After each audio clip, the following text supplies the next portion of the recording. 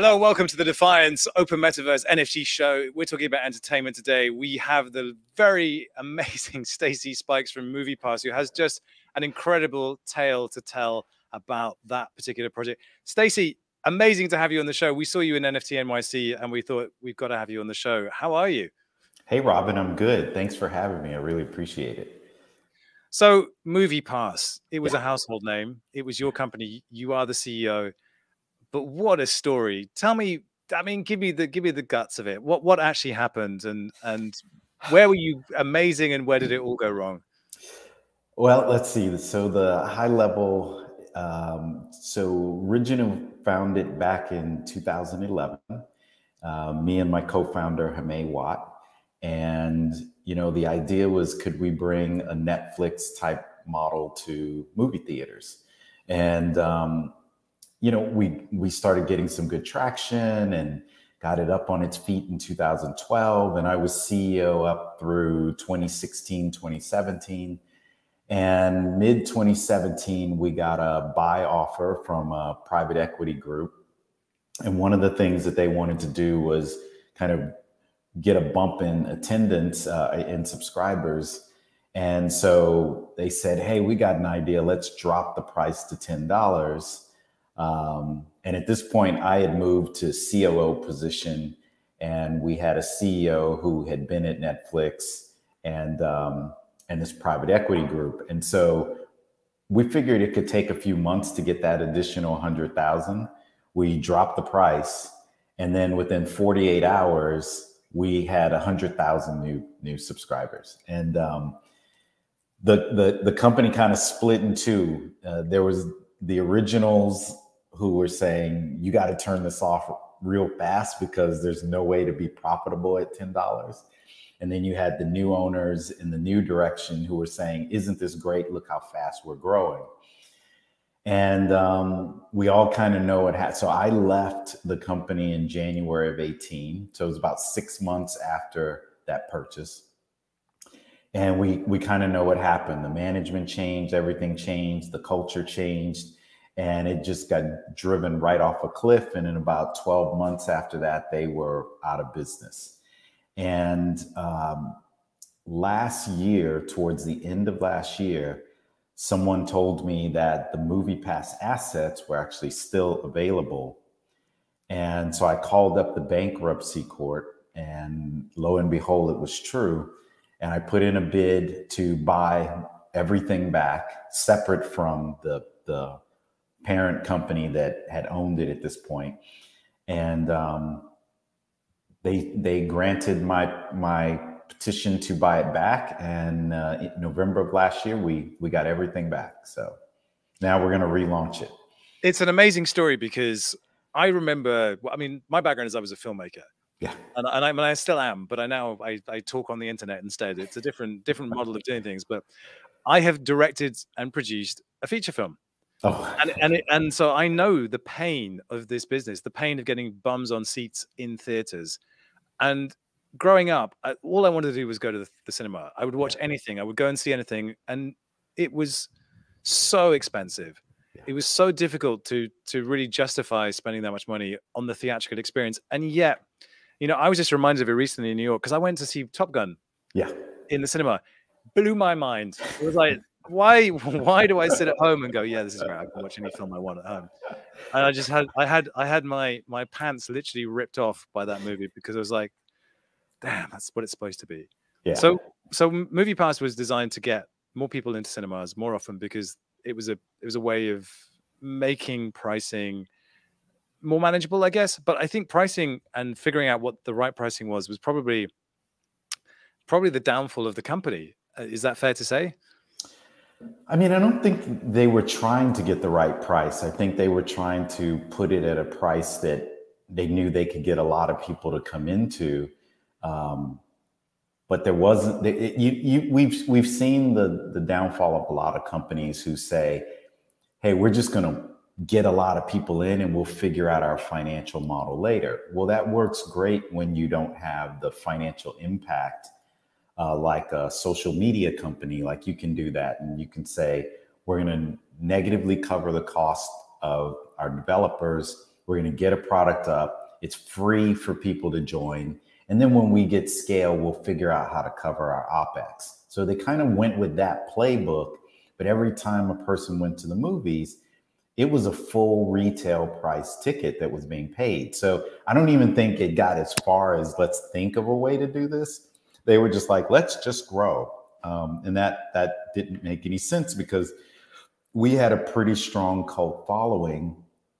We were clearly out front. We were getting in close to what the price needed to be uh, for the consumer to win, the theater to win, the studio to win, and us to win.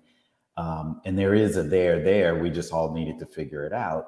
Uh, but I think they they handled it wrong and had a bit of a lead foot in the situation, and it it blew up the ship. So, yeah, and it's such a shame. The the you know the the idealistic filmmaker in me wants to see you know medium budget or even small budget, which is I guess ten to fifteen million dollar great movies. Yeah, hitting the cinemas and having their theatrical run. It doesn't happen. It doesn't yeah. happen. No, you've got your tent poles, and then everything else is just this unrelenting avalanche of great TV. And you just, you just can't get away from it. It's insane. So I think there was always a place for Movie Pass. I, was, you know, before Netflix was Netflix, it was DVDs that you mailed in and they mailed to you. What a crazy business model that was. But you know, right. I, I I used LoveFilm, which is the equivalent of that in the UK. So I know that people are prepared to to, to go there and they love movies. They still love movies. Mm-hmm. So what was it that made you come back to a company that had clearly left a, a, a sour taste in the mouth. But wh- why come back? Yeah, so one of the things that was really inspiring was seeing TikTok videos of people saying, Boy, I wish I had Movie Pass back. Um, and so that was one thing that when we actually ran polls, the taste that was left of people was a brand that people really loved, an idea that people loved, but somehow, and we've seen this many times. We saw it happen with Apple, we saw it happen with Dell computers and other companies that had these bold ideas. Um, the the founder's vision got lost and the company went astray but also in those history history of those companies founders returned and the companies actually did quite well uh, in the long run. So I think that there's a, a, a, narrative there and there's a history there. And a recent poll was done that more than 50% of all moviegoers are aware of the Movie Pass brand. That's north of 100 million people who are aware of the brand. And they didn't have a negative experience. They felt that things went wrong and so there was a little bit of a, a difference and it was can we relay the message that this is what happened? It wasn't us the original team but we're back and we want to rebuild this.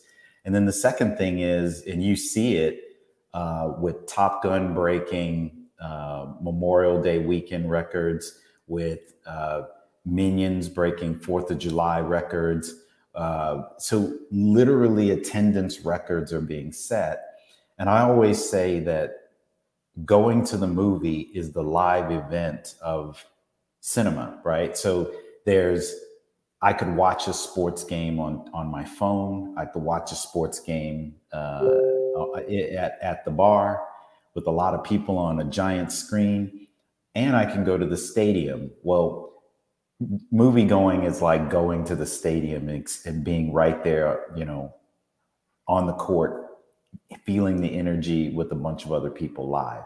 And that's the premium experience that everybody wants to emulate. And we felt like it's worth trying to bring that back.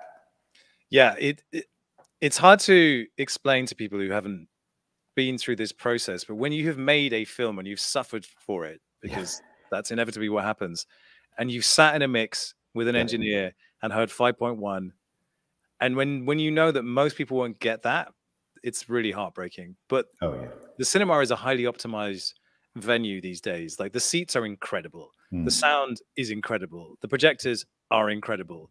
The acquisition mediums now fully digital, and it's easy to send movies to any cinema in the country without having to transport heavy and degradable negatives it, it's like these these are fantastic things. It's a very amazing experience, and I I am just rooting for this to come back, the cinematic experience to come back because this is my home territory. Yeah.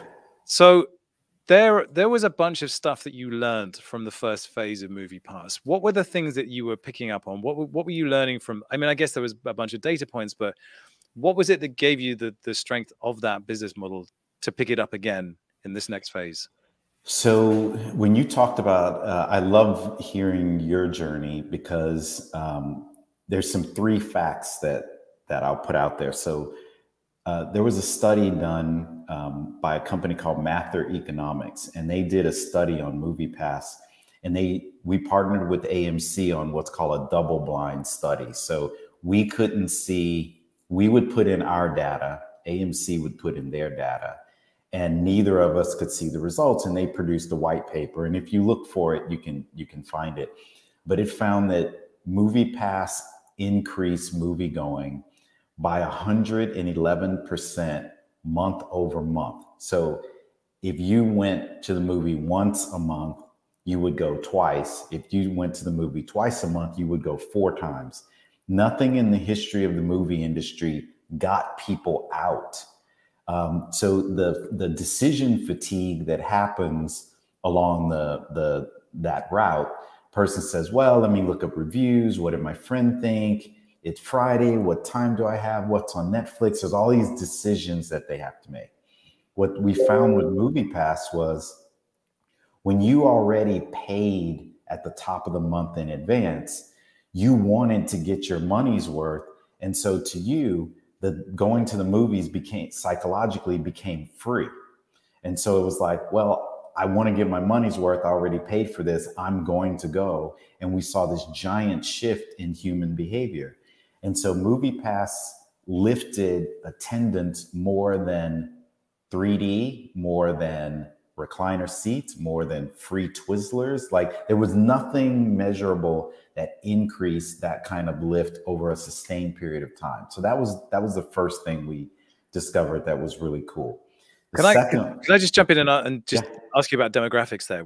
Yeah. What what was the split? Because I'm I'm assuming it was young male female. Yeah, well, no, more more age group. Age. I'm assuming it was 18 to 25s that were the, the bulk driver of that. Yeah, so uh, our core demo was 75% were under the age of 35, and the average male was 26, the average female was uh, 24. Because I, I keep seeing, well, I, I don't keep seeing, but I, I, I have this this number. I think I've seen somewhere that like over 60s are now driving like a lot of cinema visits. Is that is that right? Am I am I misreading that? But like the, the old the old grey pound, as we used to call it in the UK, is the thing, you know. Well, so so that goes to a bit of a historical thing that started to happen. So in the 80s and 90s, um, everybody thought, "Hey, we need to start upgrading the theater. Let's you know uh, dine in." So it was like, how do we increase the experience? So there was food and beverage and what they call sight and sound, right? And just like you talked about, 5.1, Dolby, THX, you know, the screen, IMAX, concave, recliner seats. It got to a place that you can't beat that experience. But the way they had to pay for it was they had to increase prices. And so what what it did was it took people who were doing the experience it increased their prices so the they everyone started focusing on incremental spend rather than incremental visits. So it was robin's coming to the theater and let's get him to spend five more dollars but let's not worry about can we get him to come more times. And so that's what the industry started focusing on uh, putting most of its energy. It always focused on frequency, but but that became the primary driver.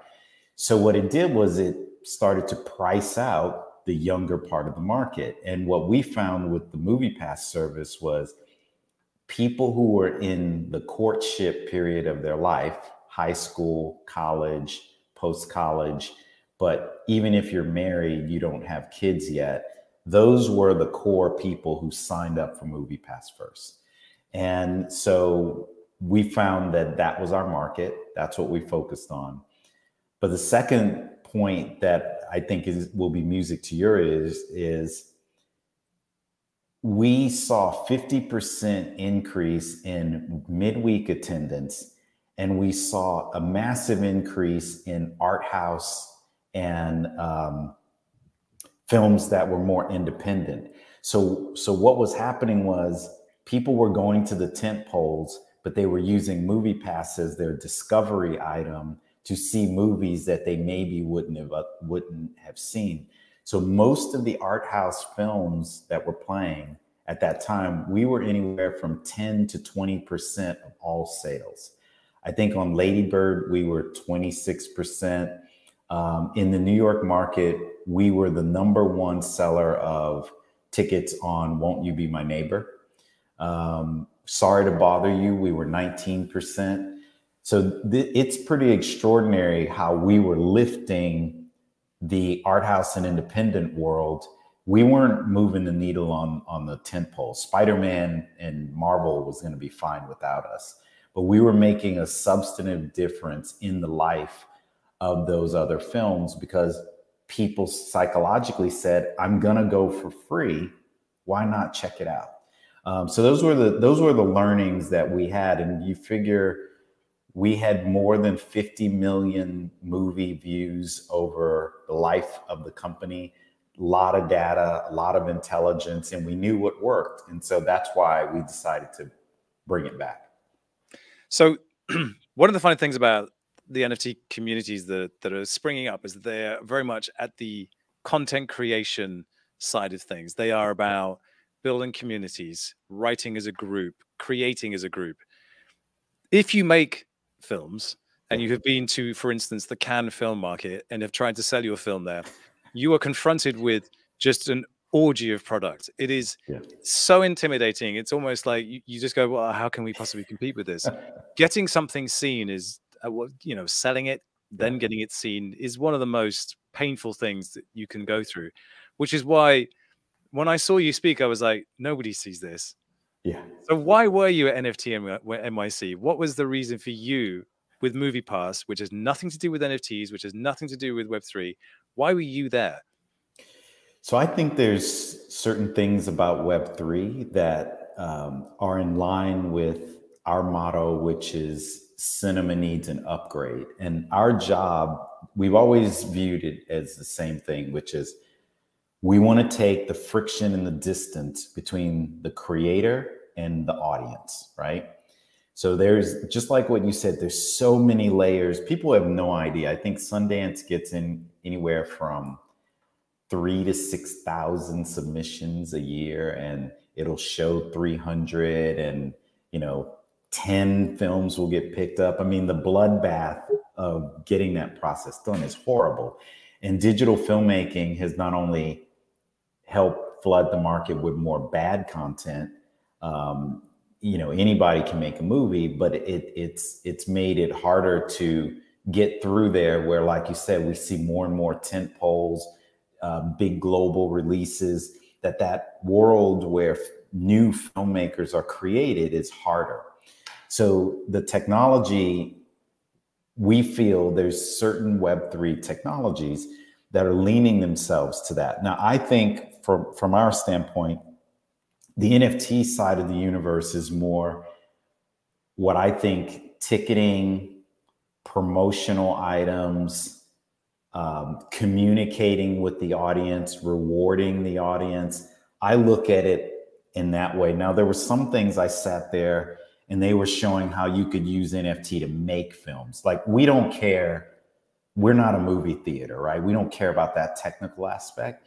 But we saw a lot of we see a lot of traction around. Uh, are you familiar with POAPs, which is proof of attendance oh, yeah. protocol? Okay. Oh yeah. So so think of it like this. Let's say you say to your audience, "Hey, if you buy a ticket and you come to the theater, I'm going to release a limited edition number of whatevers, right? Well, now digitally, you can confirm that that person went and you can reward your audience in a direct way. So for us, NFTs and POAPs have that capability. And so we see a direct correlation with that. Um, there's other theory, things on the blockchain that you're able to do that you couldn't do before. Uh, and so that's why we were there. And that's why we feel like, okay, this is a space that we need to be in if we're going to truly upgrade cinema. I think Web3 is, is where we're supposed to be. And I think it's quite an easy thing for people to wrap their heads around, actually, as well. Yeah. We got into lots of parties in NFT NYC using token gated access, yeah. but also the way you can you know airdrop things to people you can take those poaps and and use them as proof of attendance my gosh yeah. what, a, powerful thing to know that your fans who went to see your last movie will see this movie and actually maybe they'll see this movie as well and you build that relationship through studios through through everything else it, could be a much better recommendation system i think as That's well right. which is really and, and yeah and, a, and a, like you said a relationship where if you decide you're going to make a trilogy and you want to reward everybody who saw it in the first weekend. And if they came back and saw the second installment in the first weekend and then the third installment, I mean, you being able to have a relationship and directly reward them is a very, very, very powerful tool. And um, so, our platform, with the way our check in system works, we know that that's something that will be very helpful to filmmakers and then having this two-way street where we're shortening the, the, the distance for you to be able to communicate with them and then being able to share data that tells you where they were where they came from you know all of that stuff instead of you trying to have to manage it on your own that's that's the power of that market i had a really interesting conversation with the team who are building all the nfts for fox yeah. this week mm-hmm. i mean it's wild. Like you know, they they were spinning the numbers at me. I was like, yeah. People get mad at 10k PFP collections for being yeah, yeah. for having too many assets, but like you know, yeah. the the uptake for Fox on their WWE NFT collection was like a hundred thousand. Yeah, people signed up for wallets. A hundred thousand. That's still peanuts, but it's like, nah, this this is this is ready for big time. So I guess the question that should probably be asked is if can all of the can't all of this be done without using Web3 or NFTs? Could you not build a proprietary system and have it kind of private and permissioned on a on your own servers and database? Could you not just go that route? Because it would probably be cheaper. Um, I mean, you know, the gas fees are coming down. Uh, some of the stuff that Polygon is doing, we're, we're seeing the cost uh, that they're really figuring out how to do these kernels where they're not needing to every single transaction, uh, every single NFT go and mint everything all at the same time. So there's ways to stagger it that we think are going to uh, prove to be valuable.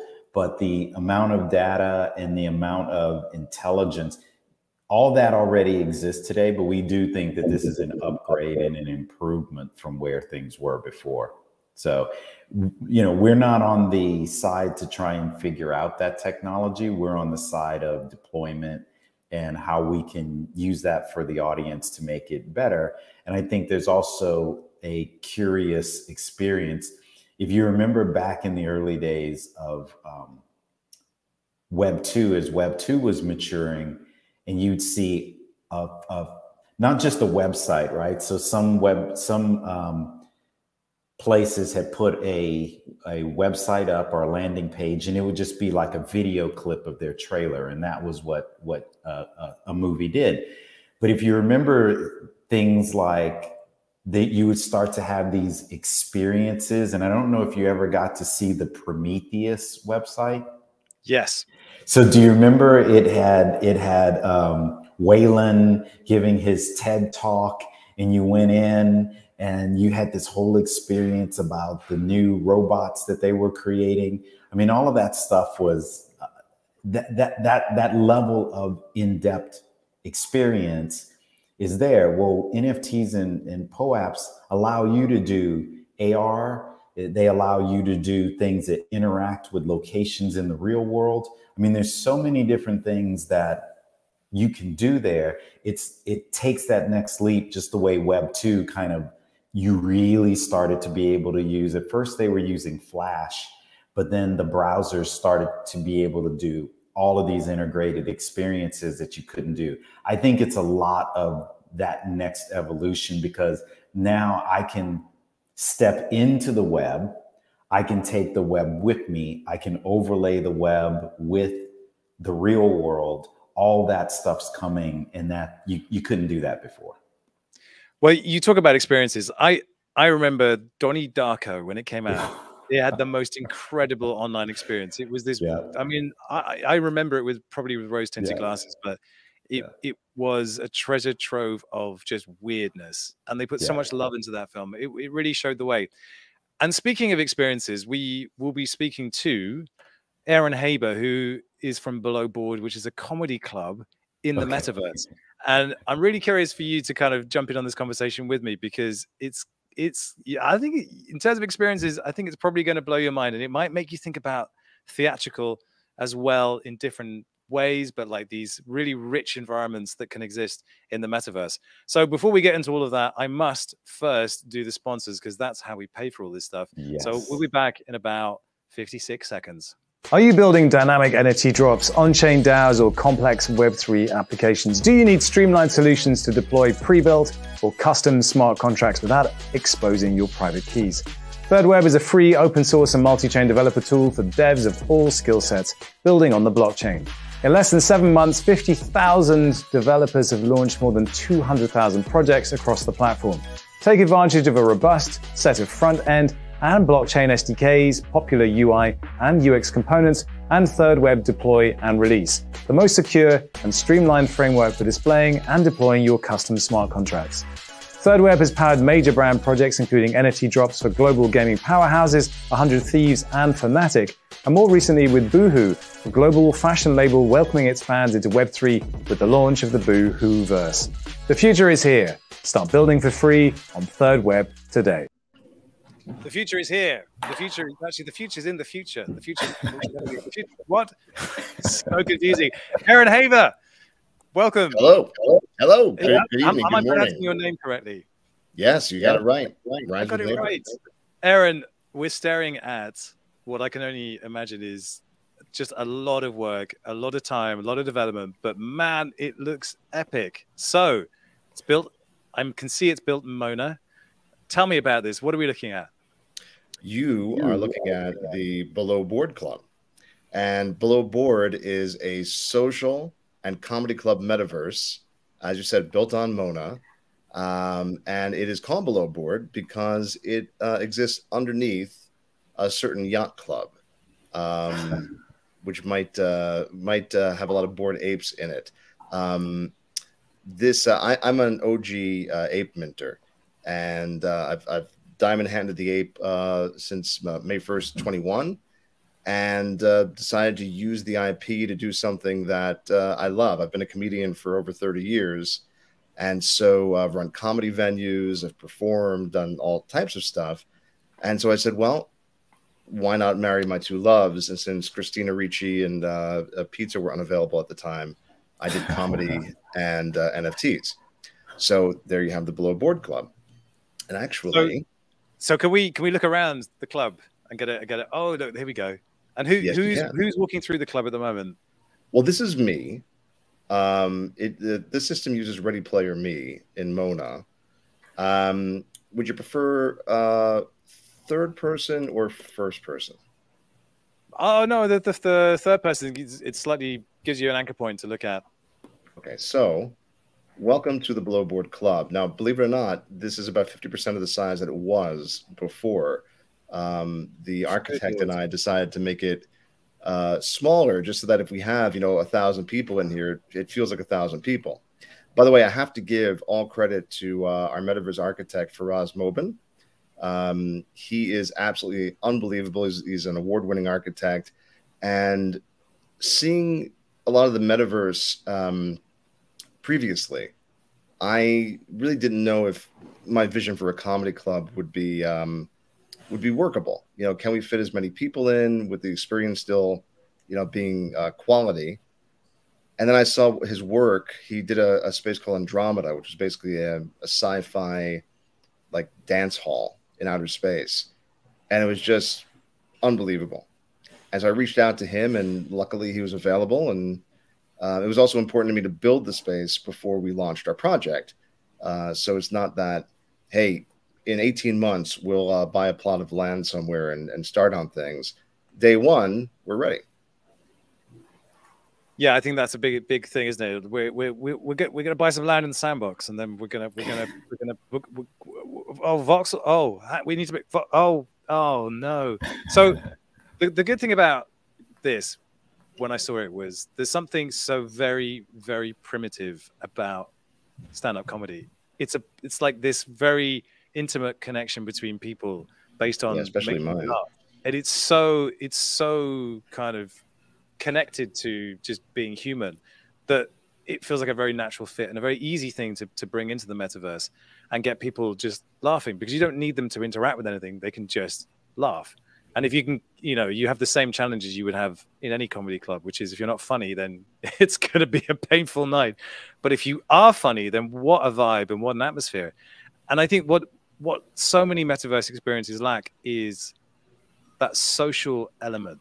It's like how do we bring people together? Stacy Eddy was talking about cinemas as a communal experience, and there's there's no doubt that the best type of film to see in the cinema is horror, because if you laugh, if, if you if you are frightened together, then what immediately follows the fright is you laugh because you you say, "Oh, I'm being stupid for for for being scared of this," and that that, that double hit of kind of physical, you know, and mental emotions, it it it's it's unbeatable. It's the stuff that gets me out of bed in the morning. I I love it. So this is a this is a massive, massive venue. Well, and How this is um, one room, by the way.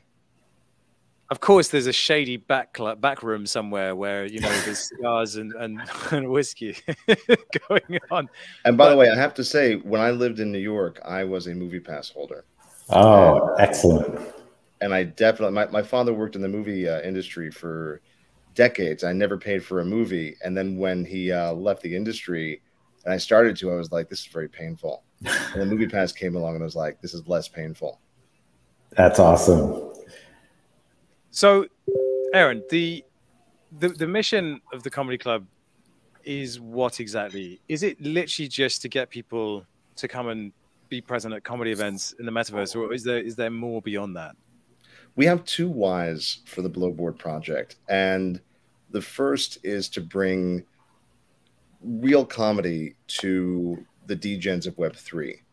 And so what I mean is um, comedy club comedy. I mean, we will do Zoom shows, which have now become pretty uh, commonplace, but we're also going to live stream from the clubs, which is quite a different experience than if you're watching comedy on television.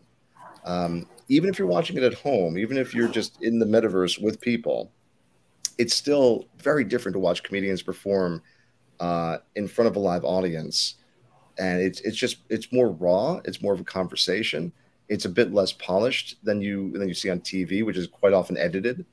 So that's one of the whys is to bring comedy to the metaverse in a major way.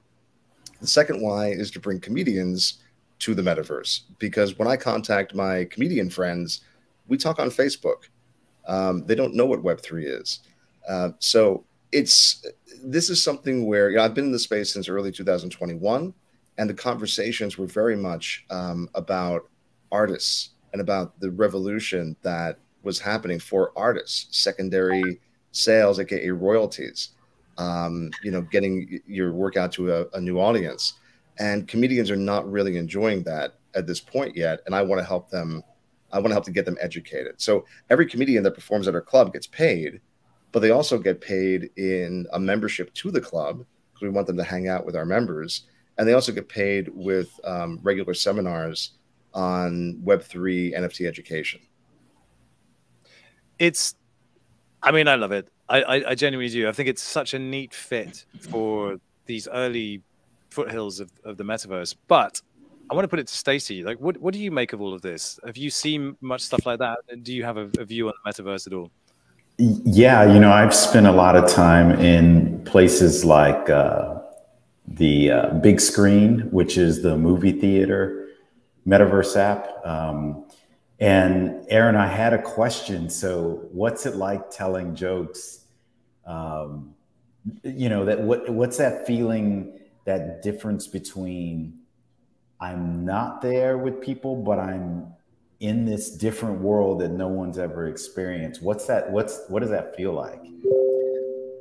It's not as new of an experience for me because one, when I would tell jokes in person in front of an audience, there was silence.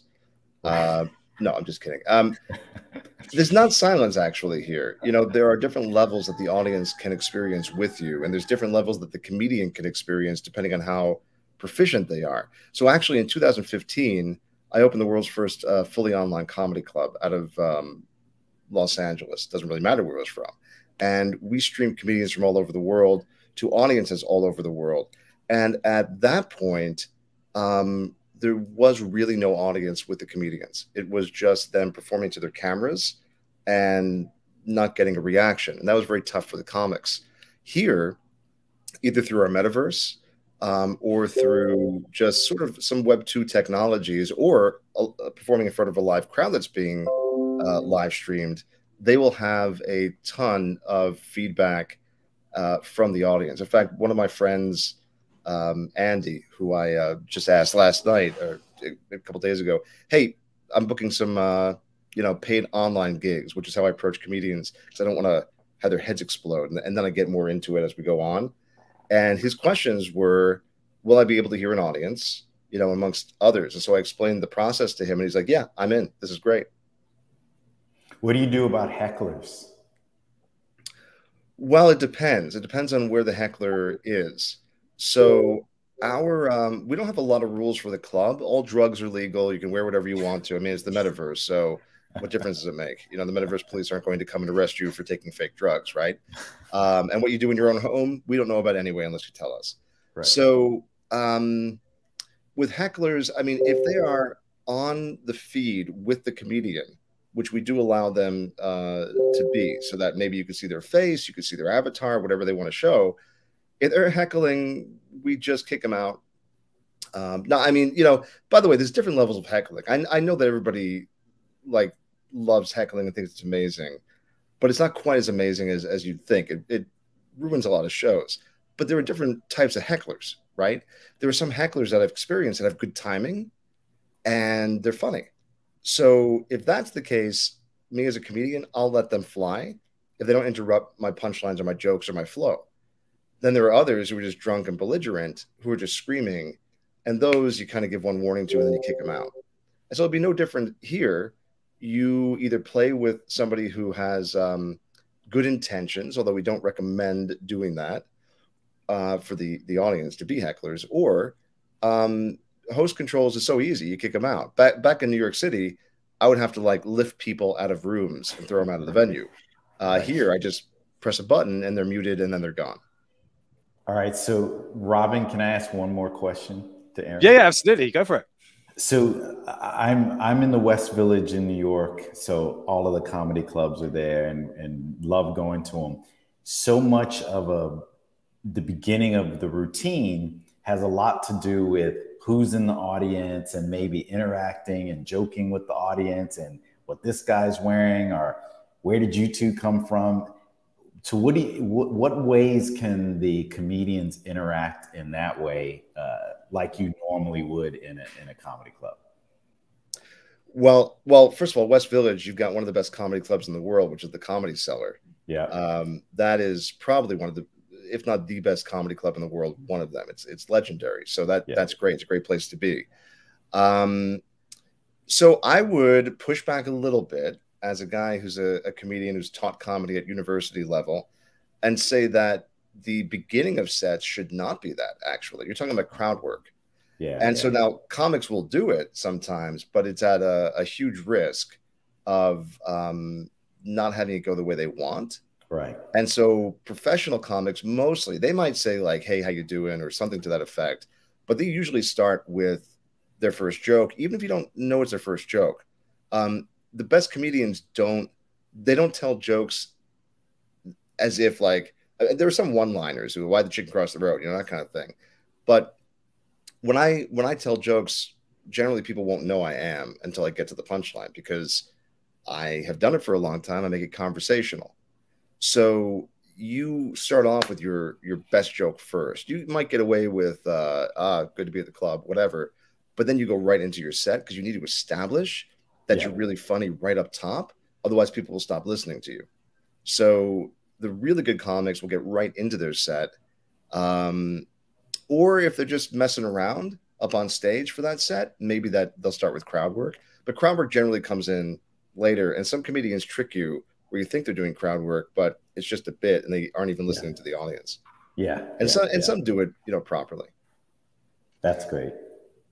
Okay, so um, I have a, a question for you, which is participation in the metaverse is dismal. How do you get people to to participate? How do you get them to to not do Netflix? Weekly orgies. it Um, might work for a certain main- segment. Um, my Yeah. wife would have a problem with it. So how are you going to get me? How are you going to lasso me in and, and pull me in?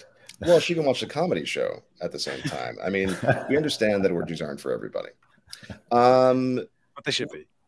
This, yes, I mean, this should be a place where all communities can come and hang, right? You can show up um, as your avatar. Right now, we use Ready Player Me, but pretty soon we'll be using uh, Mona's proprietary system where you can sort of wear the skin of your your favorite PFP and even your wearables. Um, and so part of uh, part of the club is definitely the programming, comedy, uh, music performances, um, you know, even movie screenings, other things. But um, a big part of it is just the social aspect of the club. This you'll notice in the beginning, I said a social and comedy club. So I've been a I was a member of the Friars Club in New York, which Stacy may have heard of, Yeah. um, for about a decade. I produced comedy shows there and, and was a member there. And yeah, you would go and see an event every once in a while. But mostly you would go there to hang out with your fellow friars.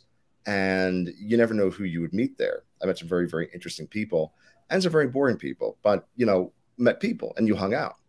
And it's really the same thing here, where you can come and, and sort of like, why do people hang out uh, on a Discord? Why do people hang out in a, you know, in a, in a Twitter Spaces? So it'll be the same thing. Um, and then for the shows, the shows are time sensitive, so we do not record the shows. Um, you you watch them, you've seen them. If you don't watch them, you don't see them. And so for those times in particular, uh, people will want to go uh, to be there. But I think the the basic answer is you make it really fun and enjoyable for people. Which is again, it's an easy thing to say. Yes, But- I, it was very easy for me to say. It was very easy to say. And I, I've spent quite a lot of time wandering around different metaverses, and I, I spend, I force myself to spend time in VR using my Oculus because I think it's going to be the platform via which a lot of people will discover the metaverse. I'm sure, or at least a version of it. But again, it's, I mean, what is fun in the metaverse? Because I don't think it's the same thing as fun in you know a regular bar. So have you tested that? Have you have you got people in there and done games with them? And because I suspect you're probably uh, as, as adept at understanding an audience and getting them to do things with you as anybody could ever be. So that's why I'm curious whether you've thought about how to, to, to take that audience experience when people aren't rooted to a seat and they can wander around and they can be all over the place and they can talk whenever you they want. How, how are you going to manage that and make it still fun? Well, we have um, we have host controls, and I, I shared another uh, screen if you want to bring it up of one of our other spaces. Um, we we have host control, so in terms of like if people are calling out or, or heckling or something like that, we'll be able to pinpoint who it is and and remove them because while they may be having a good time, the rest of the audience probably isn't based on what they're doing. Stacy, you've been to a lot of comedy shows. It sounds like ten percent of the time when a heckler is engaging, it's fun, but there's a lot of times you don't see the YouTube videos of the heckler just ruining the show. Right. You know, Right. right. so a lot of times security just brings them out, and we'll do that too. I have the experience of running uh, hundreds, if not thousands, of online uh, comedy shows, and so in terms of how to host them, how to uh, produce the show, and, and schedule the comedians, um, and yeah, we'll be doing tests beforehand. You know, almost stress tests on Mona, where we bring a ton of people in, see how they act. In fact um, we're going to be presenting the first metaverse minting experience where we have uh, put together a minting room that everyone can come into and then they can be uh, transported to you know their their wallet connect and and mint from there as well. And as a team, we've talked about just what you're saying now. Well, what if somebody is coming in and kind of uh, being a jerk? And we'll be present and and there and and uh, sort of helping to manage the room. But hopefully, it's just a fun experience. Am I right in thinking that Mona will be VR capable at some point? Mona will be VR capable, but also I want to say that um, we're not just a Mona NFT. Um, Mona is the platform that we've decided to start with. Uh, we think they're great. We're also going to be opening up a spatial space, which um, spatial is is good. It's not quite Mona, but they do have VR capability and they're mobile optimized right from the get go. So for our members that um, you know aren't uh, browser based, they don't have uh, they don't they don't have a, a, a laptop or a computer at all. They'll still be able to enjoy the show. And we also plan on opening uh, an Otherside and being the first ape-owned comedy club once um, you know Animoca, you know, lets us start to build. And yeah. and some of the members of, of their team have seen the space and we're very excited about us coming over. So when we talk about metaverse, it's not it really shouldn't be like, hey, this is the one place that my avatar goes. Here's one NFT. We will have rooms from the main club to all of our different platforms and metaverses. And if you have all of the uh, NFTs in the same wallet, it should just be a seamless experience of you teleporting from one metaverse to the next. So I guess the question is now we have Stacy on the show. Can there be a movie pass that unites all of these kind of premium metaverse experiences as well as cinema ones and in real life and everything else? Because it feels like what MoviePass is about is allowing people to experience a rich variety of things that they probably wouldn't necessarily go to, but they, they feel that they they can, they're empowered to. It feels like a good fit, but I'm, I'm you know I'm not trying to project your business for you, but it this is kind of why I wanted you guys on the same stream. I think it's a really interesting thought experiment. Yeah, I know. Uh, when we looked at it, we found that when you give someone, like, let's say it's a comedy pass or it's a movie pass, or once you get people around a certain habit, it might be they want to do salsa dancing, but the pass actually is a um, passport into that world that lets them sample things that they wouldn't ordinarily do. Um, and so I, we, we know that psychologically it works, especially when people get into a major vein. And so Aaron should probably look at getting into a comedy pass if, if he ever wants to rise up and say, okay, I'm going to, I'm going to pull this together and get more people into the overall space. Like he leaves just doing his venues. Um, but we found it to be effective. I mean, it's, it's, subscriptions around certain sectors work very well. So yeah, I, I see it in the future. So I just want to finish now on your manifesto, the AF paper, the boring AF paper. Mm-hmm. So Aaron, I mean, it, it, it's got a certain kind of sass to it. did you write? I'm definitely this? keeping my. I, did write it um, with help from our uh, community manager and our project manager but it's written in my voice, which um, you know, I don't know what the rating is here, so I've been keeping it clean. But oh, yeah, I, it's not well. Sometimes, sometimes the f words come out, and then you know, my kids watch this, but they're so they're so immune to it now because my mouth is filthy. What I what well, I you know, which are boring as fuck paper, you know. Yeah, and, exactly. Um, um, and you know, you yeah. like in addition to all the shit listed already, this is a project that has legs. I, right. I think it genuinely does have legs. You can rent out the club for whatever you want, and we've seen the club, and you should definitely go and check it out as soon as possible. There's a trailer on your Twitter as well that's just like I saw it. I was like, damn, because there's there's builds in the metaverse, and then there's builds in the metaverse, and like your architect, as you said, did an amazing job. You're going to be doing one-off comedy shows and concerts, metaverse wearables, box office from real life events as well, brand sponsorships, and on and on till the break of dawn. Um, yeah. Well, we're in a bear market. You know, I mean, I, have been here through the bull. We're now in a bear market, possibly crypto winter, right? And so you can't have a strategy of going to mint, hoping it sells out, and hoping have a robust secondary. I mean, yeah, of course, uh, everybody hopes that happens, but what if it doesn't? So we're not reliant upon Web3 numbers. I mean, that's the most, that's where our heart is. But I also ran a comedy club in Times Square for seven years. Um, I ran it during the recession. It was fine. We didn't make as much, but we did pretty well because people like comedy. Um, we are going to have Web3 revenue uh, streams, Web2 revenue streams, and in real life revenue streams uh, as well. And what that's going to do is once the bull comes back, great. Then um, we have all the formulas from the last bull, and we'll have all the formulas from the bear that we survive. And I already have all the formulas for in real life events and, and a lot of Web2. I was a live streamer for quite a long time. So um, that's why I say the thing has legs because we're not, in fact, with our mint, we are a 10K project. We're only opening up the mint for a few hours. We know that we're not a, a normal PFP project. Maybe we sell out in six minutes. Maybe it takes longer. But if you want a membership, you've got to get in pretty quickly. And then we're going to close it off, not burn the collection, but then open it up again when we feel like the time is right. So we're a little bit of a different project.